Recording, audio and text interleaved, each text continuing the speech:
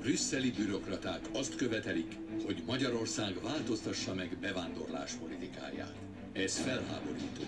Most egy Soros György pénzelte szervezet Brüsszel támogatva pereket indít hazánk ellen. Álljunk ki Magyarországért, mert csak nekünk van jogunk eldönteni, hogy kit engedünk be hazánkba. Mondja el véleményét, töltse ki a nemzeti konzultációs évet. Állítsuk meg Brüsszelt. Készült Magyarország kormánya megbízásából.